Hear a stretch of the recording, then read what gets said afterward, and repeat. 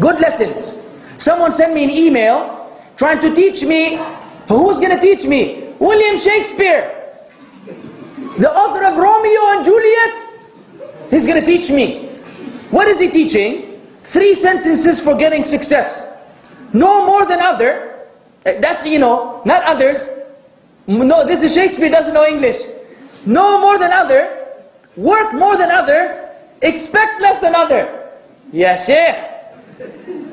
Uh, I was under the impression that success is by, you know, salah and applying Islam, not by knowing more than other and working more than other and expecting more than other. And this is all bad English.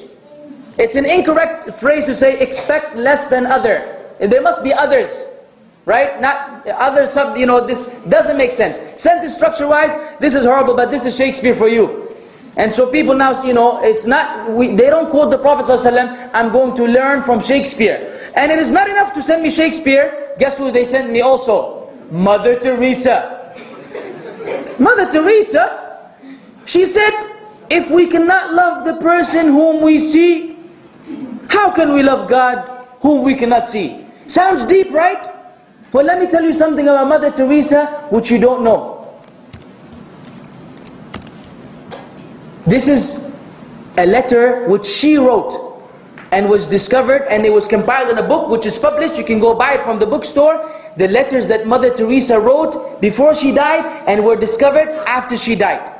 You want to know what Mother Teresa was upon? Check it out. She said, Lord my God, you have thrown me away as unwanted unloved. I call, I cling, I want, and there is no one to answer, no one, alone. This is what shirk does to you, does to you by the way. Where is my faith? Even deep down right in, there's nothing. To the people, she was a saint. She was the believer. She was, this was the reality of a woman who took Jesus as a God besides Allah subhanahu wa ta'ala. This, there's more. She said, I have no faith. She said, I dare not utter the words and thoughts that crowd in my heart. I am told God loves me, and yet the reality of the darkness and coldness and emptiness is so great that nothing touches my soul. She was a miserable person. Wallahi, this is what shirk does. This is what happens when one is distant from Allah subhanahu wa ta'ala. She said, did I make a mistake in surrendering blindly to the call of the sacred heart? Yes, you have made a mistake.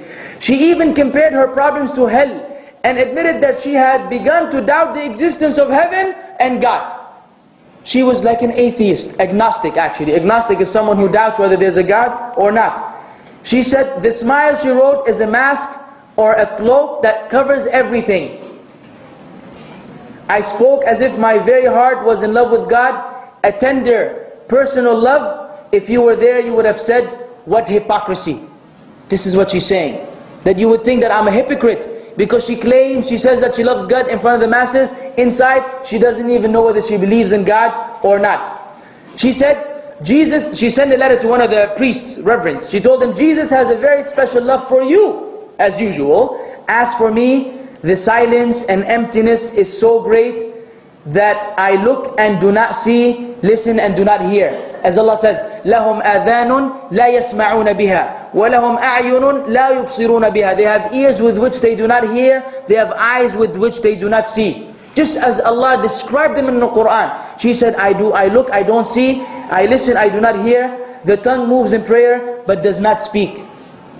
And this was published in Times Magazine. I'll give you the reference right here. Check it out. This is the source, Mother Teresa, Come Be, uh, Come Be My Light. A 2007 non-fiction book featuring a compilation of letters that Mother Teresa wrote to various spiritual advisors. If you don't believe me, go to Google, put Times Magazine, one of the most famous magazines in the world, and put Mother Teresa's letters and read the article with these quotations yourself.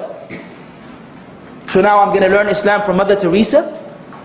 Do we need these kind of quotations? Do we send this to Muslims? Not everyone that receives them has knowledge. Some people are fooled with the content. We have to be very particular about what we send my brothers and sisters in Islam.